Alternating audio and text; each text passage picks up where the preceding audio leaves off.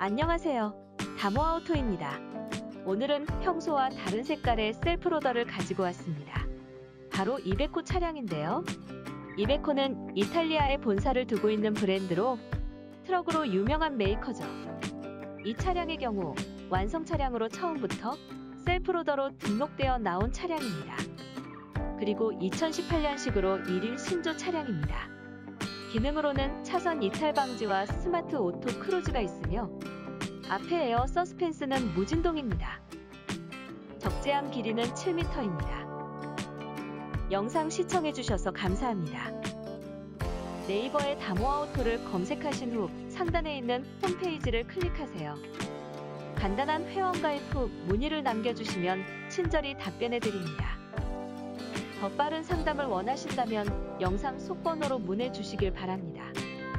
감사합니다.